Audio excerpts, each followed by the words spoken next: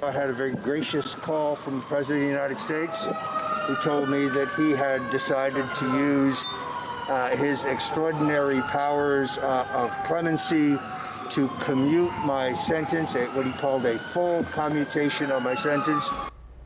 You heard him. Longtime Trump ally Roger Stone was scheduled to head to prison next week, but a last minute move by the president is making him a free man, an action that has critics saying there's a separate justice system for the president's friends.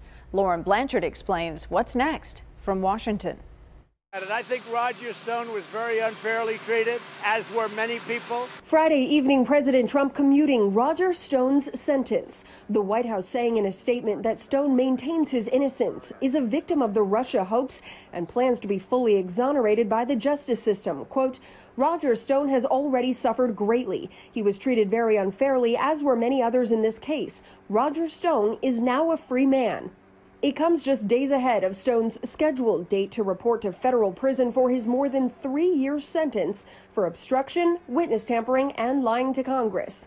I am praying for justice. I am praying for mercy, but I've got to be honest with you, it's in God's hands. Stone has openly asked President Trump to grant clemency. Stone had also asked a federal court to delay his prison time because of the pandemic, but late Friday that request was denied. The commutation of the sentence doesn't eliminate his conviction, but now it will erase Stone's jail time. And at 67 years old, with some underlying health problems, including a history of asthma, I believe with the coronavirus, it is essentially a death sentence. House Intelligence Committee Chairman Adam Schiff saying, quote, with this commutation, Trump makes clear that there are two systems of justice in America, one for his criminal friends and one for everyone else.